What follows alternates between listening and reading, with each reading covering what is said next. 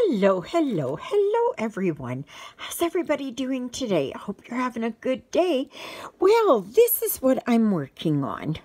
And uh, this is Hope and Love, Clara and Maud Pickernell, 1881. It's a Bristol Orphanage sampler by Hands Across the Sea. And I am right over here on the D.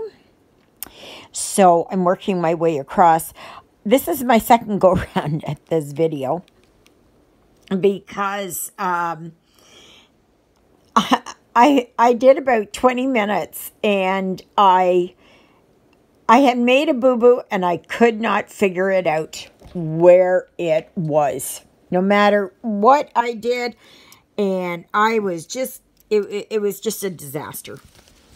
So then I I stopped the video and I'm starting all over again.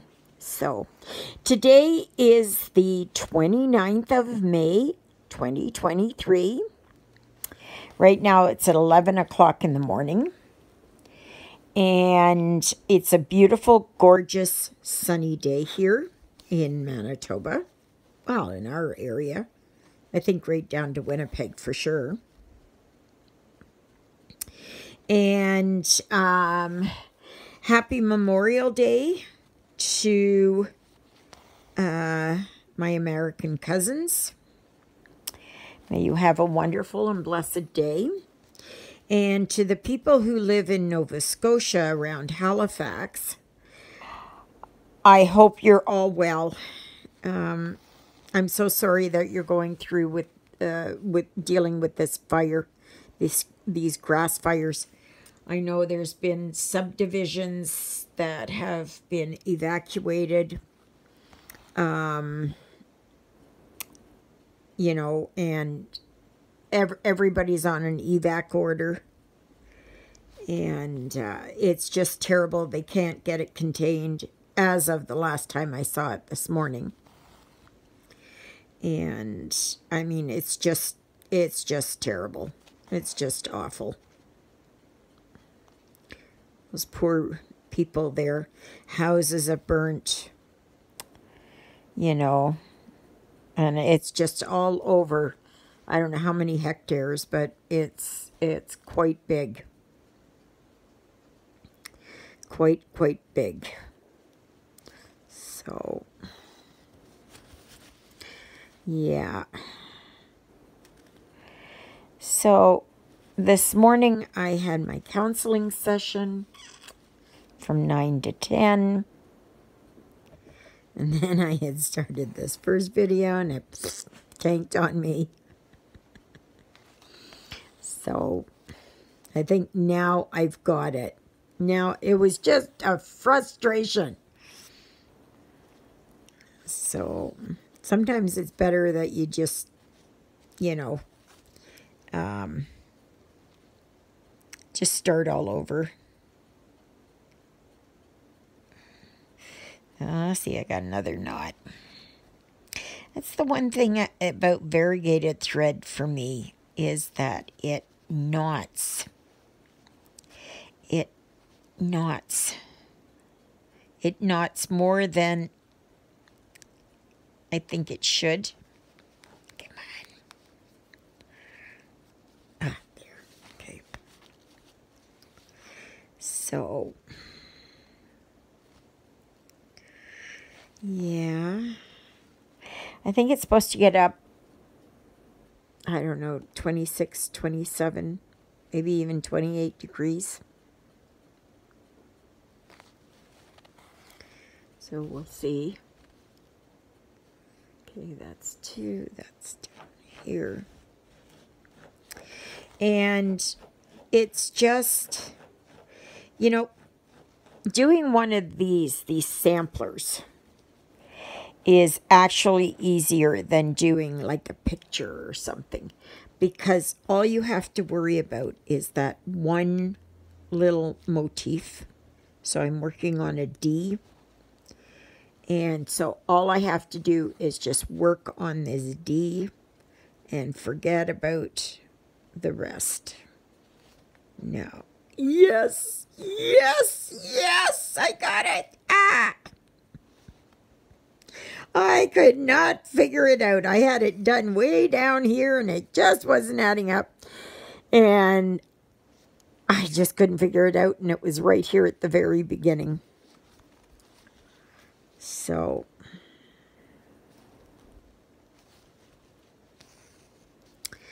that's the way it goes sometimes. But I could not see it. I just could not see it it was just not showing itself. But I I started this about a year ago, I guess.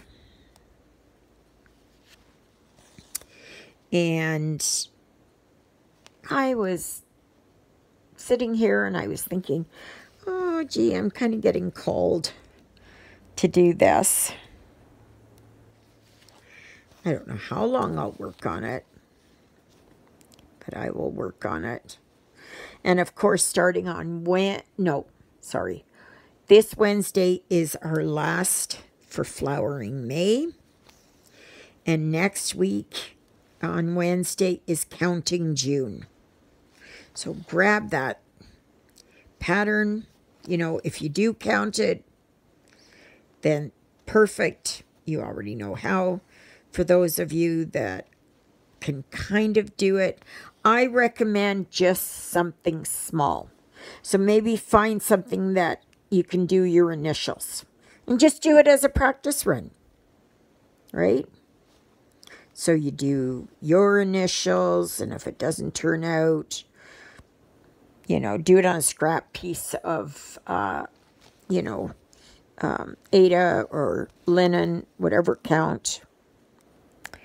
And yeah, just just, you know, like I'm not asking you to do a big heaven and earth design, right? I'm not asking you to do that. If you want to do that, that's fine. Or a big, um, what do you call it? Um, uh, long dog sampler you know, like pandemic or something. I tried that. I could not get that. No way. It was too much. Like, my eye didn't have any place to rest. But this here, I know I can just work on this little uh, D. And, um, and just work on that. It is hard for me because I would normally have it up higher so I can see it better.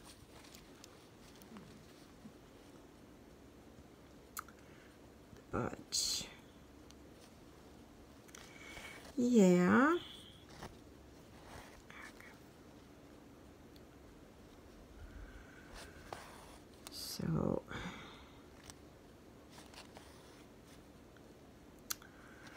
Thank you all who joined me for the live yesterday. That was wonderful to see you. I'm going to do it again this coming Sunday. I think that that will be perfect. So there's three yeah, I'll be doing for three Sundays in June. No, two Sundays in June. The third Sunday is when Father Paul comes. So then I won't be doing it alive. Um, but I will be um, um, doing... Um, I'll be doing just a video that day. So, and that's because we're done at 1 o'clock, so. But, oh, I'm so glad I got this figured out. itch, itch, itch. Oh, I was going to show you. This is the blue skirt that I got from Temu. Very nice. And this is the top that I've got on.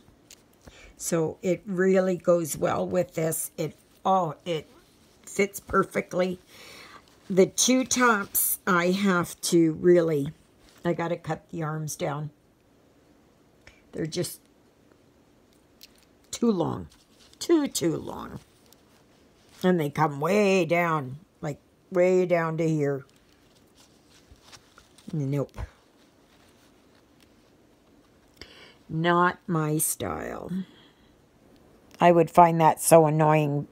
And it's not like I can fold it up. This type of material you cannot fold up.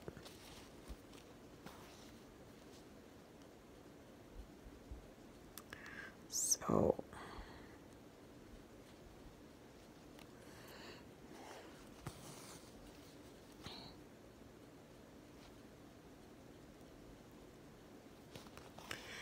Yeah.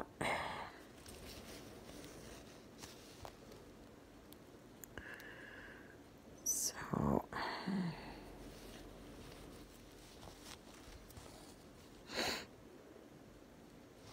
But I, I, I do like this. This is so nice and airy and very cool, you know. But I would recommend that like my skirt here, this is um, a size 20, okay? Um, and I went down because of the style. I can go down one. I have one that is a 22 because I thought, okay, from China, it's going to be made smaller, right? But nope. And, um, so then these other ones I've gone and um, I got a size smaller. So that's what I would recommend for the tops. Get a size smaller because they make them, but you have to look at the picture, right? You got to look at the picture. And the thing is, what I don't understand is that they you know, they, they make the larger sizes, but with the larger sizes, they make the arms too long. Because they think somehow, like, it's, it's like, I don't know, they think you're a gorilla or something. And you've got these long, long arms. So I have to cut them back. And then, um, do a um, a little bit of a hem and cut them down to size.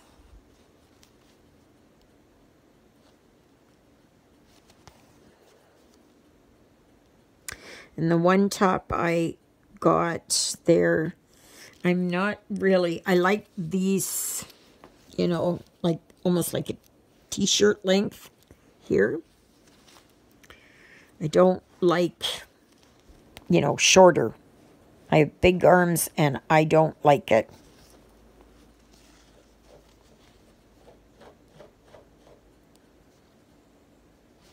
I don't care for it.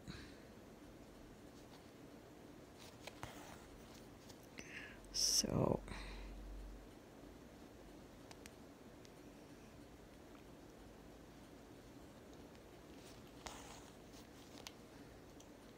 I know some people there, like, they like, oh, some like these spaghetti straps and everything. Nope. Nope. I don't think for uh, someone who is bigger and has bigger arms that spaghetti straps, they, they really don't. It emphasizes your, your upper arms or your arms in total. What you should be doing is bringing the shoulders or the arms down, the sleeves down. It just looks more presentable and it does make your arms look smaller.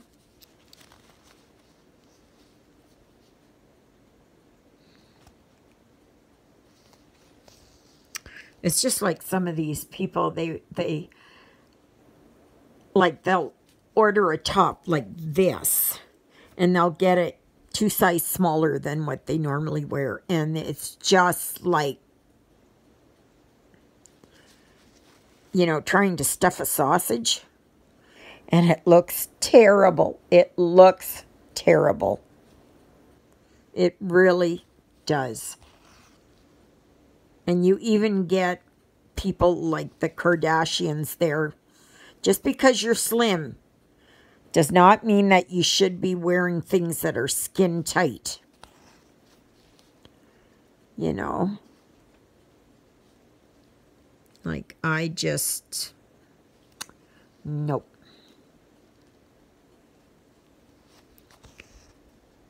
You know, I'm I'm always one for modesty. Right? I don't have to show off my chest or my cleavage. I don't why why would I want to do that? Why does anybody have to do that? You know? Like that's just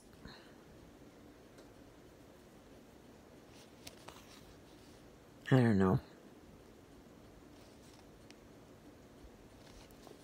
We've lost all sense of, you know, respectability.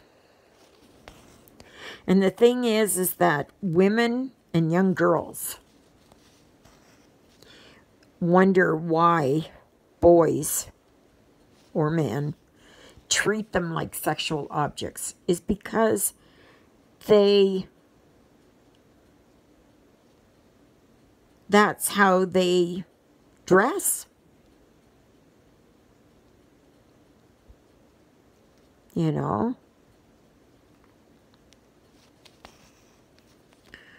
It's, uh,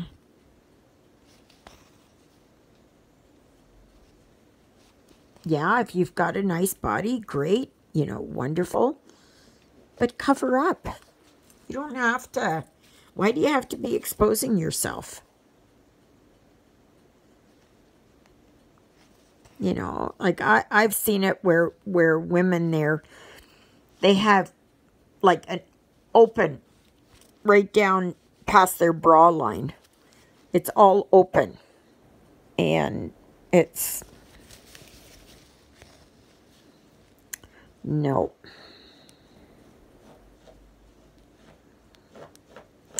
I heard somewhere somebody had said, like, they interviewed uh, girls who were dressing like that, and they said, oh yeah, you know, it's got to look good and got to attract the guys and everything else. And the guys say, oh yeah, it looks nice. And yeah, sure, you want them and all that. But it's, they would not want to take somebody like that home to show off to their parents because it's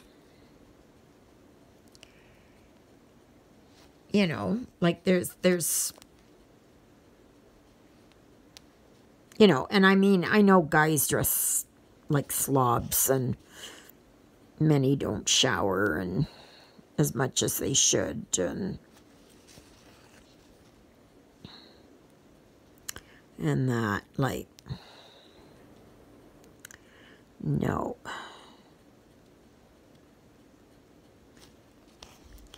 That's just not.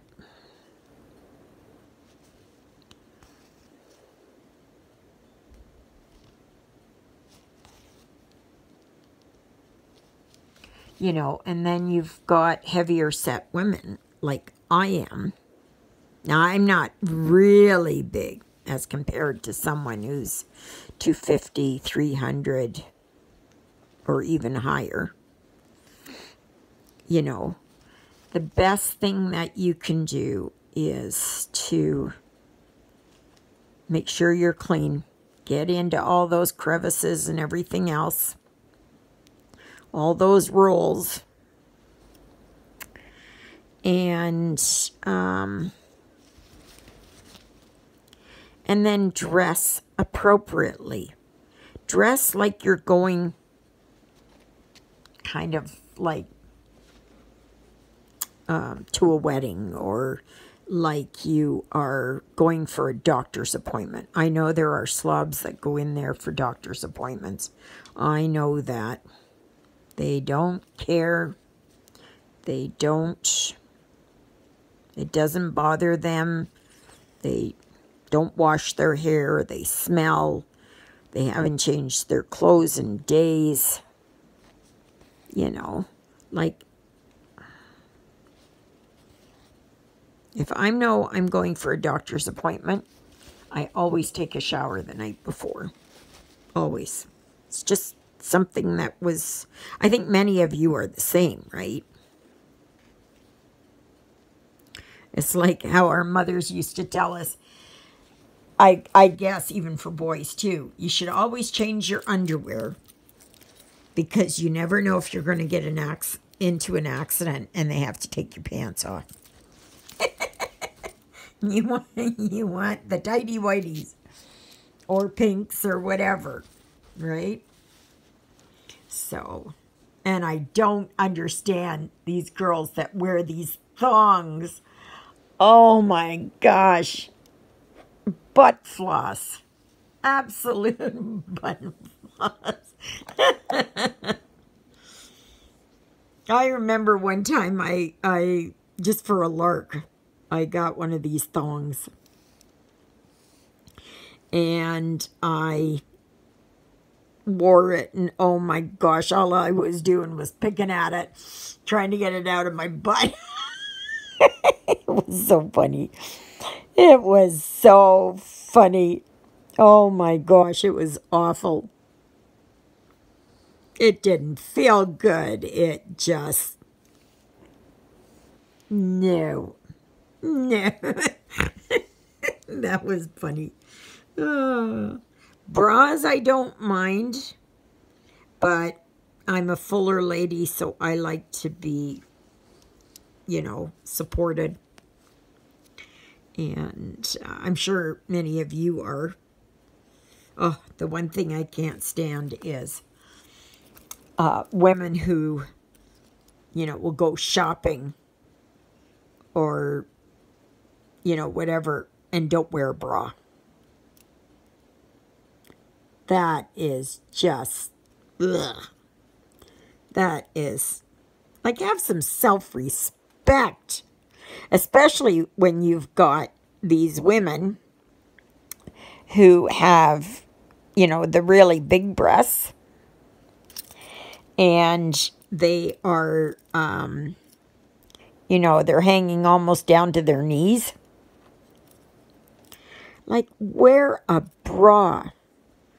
And if they say, oh, I can't get one to fit, well, then that's why you should go to um,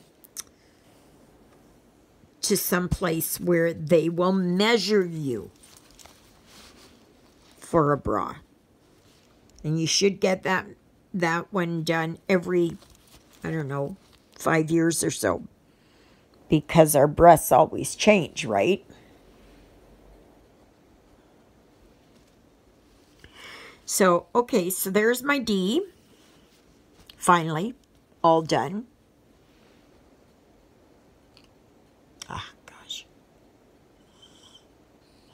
Well, this E looks absolutely weird.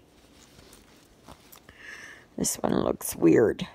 But I guess that's what it's supposed to be. These are just, you know, this is, young girls learned, because they didn't go to school. So they were taught most of the times by their older brothers who went, um, who did go to school. And so how they learned their ABCs and all that were by stitching samplers. Okay. And um, so they would do you know their their various alphabets in, you know, whether it's Gothic style, uh, Roman style, you know, whatever it is, right? Um, and they would learn their ABCs this way.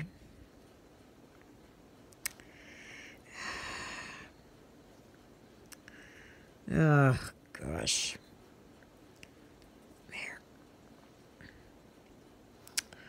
I gotta take this out again. Let's go this way. So I hope you will all join me there next week for counting June.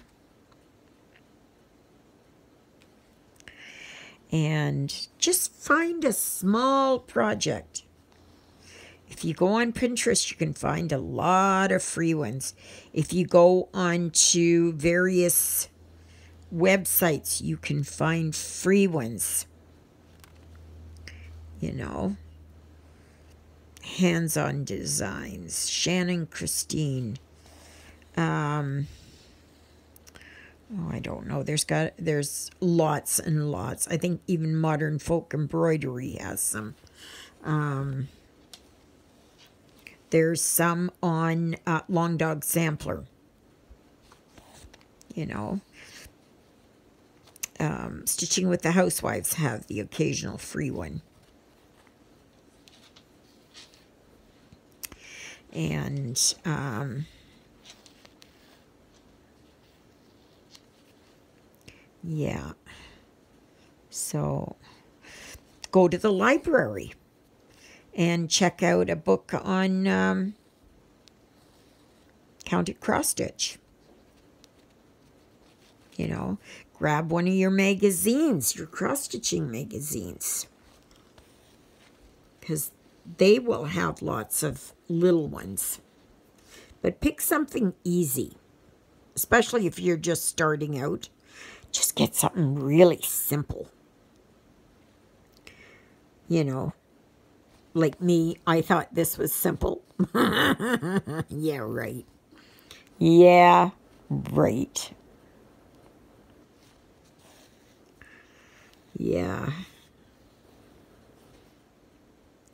Yesterday, when I went for my bike ride, I was doing good. I did my round in like under 20 minutes because I stopped once and talked to um, these two ladies with two kids, little ones, you know. And so I stopped for a brief moment and and that. Um, but I wasn't out for very long. I wore a hat I have my sun hat. And within about, I don't know, half an hour or an hour, I started breaking out in hives on my face because of the heat.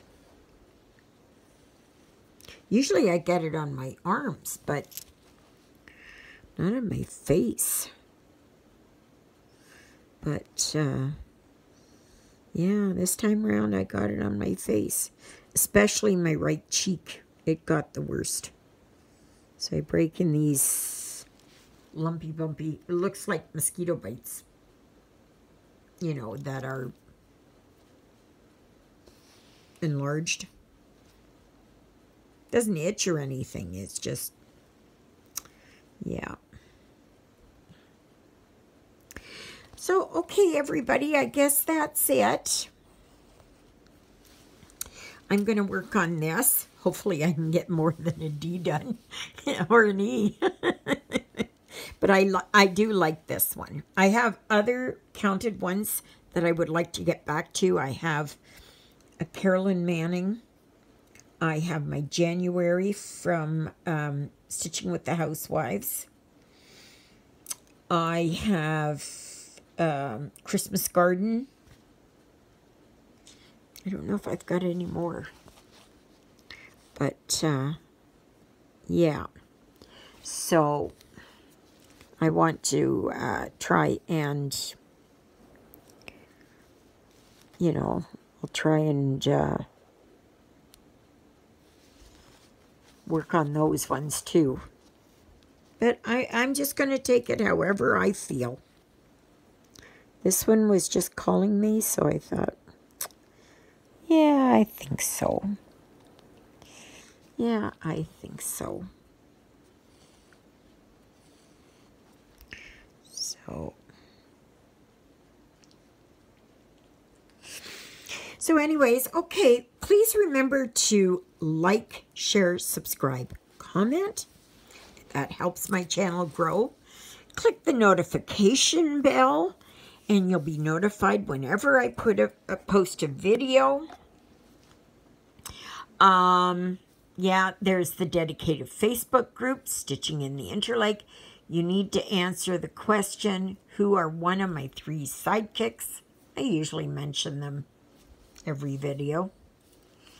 So, like, Jonah's up in the cat condo. Lily Bell is laying there in front of the sofa. And Sydney is on Lily Bell's bed. He gets on there and he just becomes like a dish rag absolutely like he's dead and he just, you know, he will not do anything. He won't do anything. He just lays there, becomes dead weight. um, there's also my dedicated email address, which is stitching in the interlake, all one word, at gmail.com. All right, everybody, I hope you have a great Memorial Day. Stay safe in Halifax and Alberta and BC. If you're dealing with all the fires up there in Cross Lake, Manitoba, they've also got a big forest fire. Everybody stay safe. Absolutely. May you be happy. May you be healthy. May you be well. May God bless you this day and every day. God loves you and so do I. And so does Lilybell and Sydney and Jonah. Thank you, Jesus, for being my Lord and Savior. Thank you for saving me from my sins. Thank you for being there in my darkest and deepest moments. Thank you for loving me like you do. Thank you for caring enough for me that you would see that my sins would be forgiven. And that's a prayer I pray for all of you as well. All right, everybody, have a great day. Um, I'm not sure about tomorrow. I, I think because I'm going with Juliet at about 9 o'clock. So, and I won't be back until about noon. So, if I can, I will do it this afternoon and then just post it in the morning. We'll see. We shall see. All right, everybody, have a great day. Toodle-oodles, everybody.